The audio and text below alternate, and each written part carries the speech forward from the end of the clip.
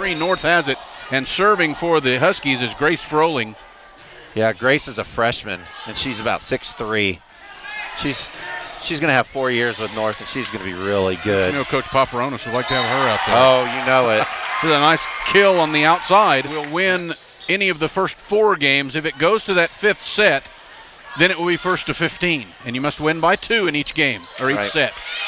Game sets. See, tennis, it's hard for me Well, Chaselin Rook's hit went a little bit outside the back line.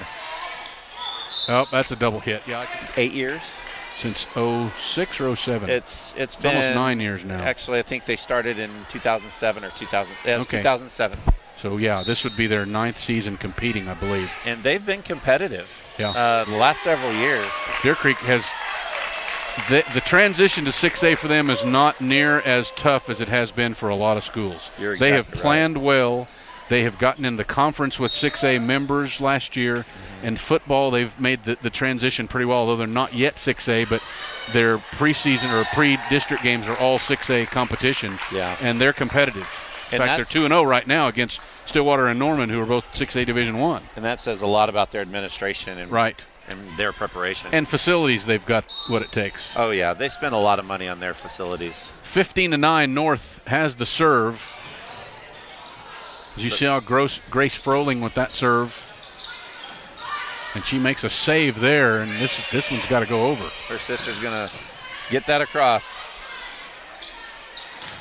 And Oh, the good block. beautiful block up front. That was Kylie Wright. You know, you gotta you gotta communicate with the rest of your team on who's got the pass and who's got what, and, and then the setter is kind of the general out there. She's calling sets, she's calling stunts and and plays and telling the players what to do. Oh, it was a great serve down the line. She has a really outstanding jump serve. It's very aggressive, and it's now 18 to 9, and yet another Edmond Memorial timeout. So Frohling, Grace Frohling with the serve still, 18 to 9. Edmond North with the lead in set two. Memorial trying to rally back. Huskies just too strong. That's Romero again with another kill. Did you see that Grace Frohling, tallest girl out there, just set that. She's playing the setter position right now. Pretty versatile. Yes, she is. The college level, people will be all over her in a few years.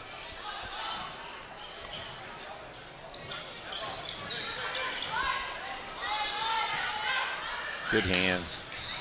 And another beautiful cross court smash there by Hannah Rose Frohling, the six foot senior and team captain.